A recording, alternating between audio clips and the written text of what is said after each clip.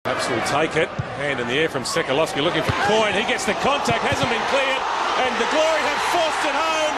Not sure who got the final touch. Perhaps Branko Jelic Jelic is claiming it. Fabiano working with Hernandez. No flag this time. Allsop through on goal. Danny Allsop with a chance to level it up. Thompson, it's gone in in the end. And Melbourne are back on level terms. We'll put this one down. Now Neville. Good ball from Neville. The header from Sterjovski forced home by Jelic. It's number two for the Serbian, number two.